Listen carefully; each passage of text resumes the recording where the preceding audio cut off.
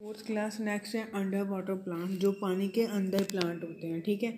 जो प्लांट पानी के अंडर होते हैं, उसको आप क्या बोलते हो? अंडर वाटर प्लांट्स बोलते हैं। जो ऐसे प्लांट्स होते हैं, वो आपको पॉइंट्स में मिल जाएँगे, ठीक है?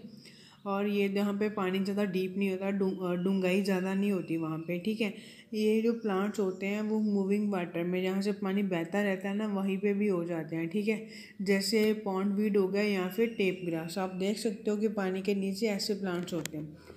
अब इनके अडेप्टेशन मतलब जो स्पेशल फीचर उनके बारे में बात करेंगे, जो ये प्लांट्स होते हैं, उनके जो पत्ते होते हैं, वो लंबे होते हैं, ठीक है? लंबे होते हैं बट थिन होते हैं, पतले होते हैं, ताकि पानी उनके बीच में से फ्लो कर सके बिना इनको तोड़े, ठीक है?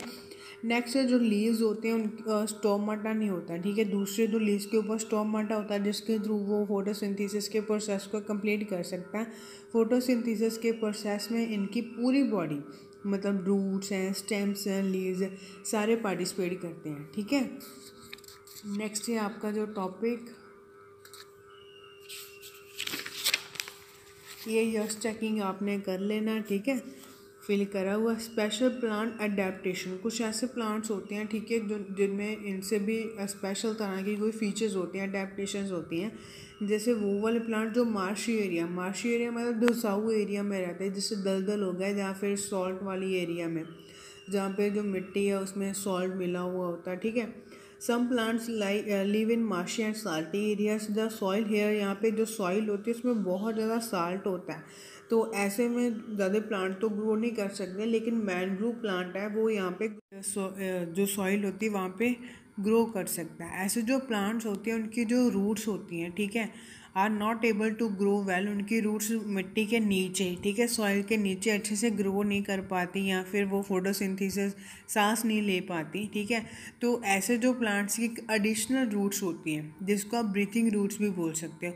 कोई हमने प्लांट्स देखे हैं ना, कि जो प्लांट होते हैं, उसकी रूट नीचे भी होती है, यहाँ पे आप देख सकते हो, ऊपर भी है रूट जड़े ऊपर भी है ना।